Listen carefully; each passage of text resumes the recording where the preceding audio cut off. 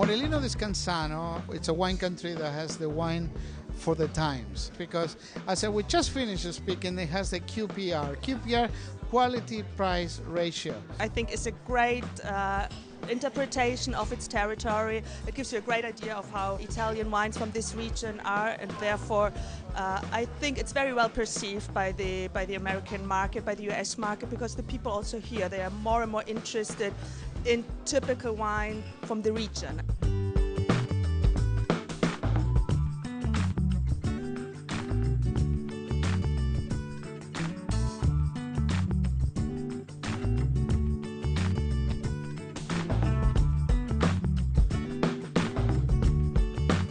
The Consorzio Tutela Morellino di Scansano represent the production of uh, the appellation Morellino di Scansano, which is uh, an appellation that comes from the southernmost part of Tuscany. There are nearly 11 million bottles produced every year of this wine. The wineries are over 120 and the winemakers are over 500. It's so easy, so approachable, and it has this ripe um, uh, tones of raspberry and spices and a little sense of terroir, and it's so gracious and so generous in the palate.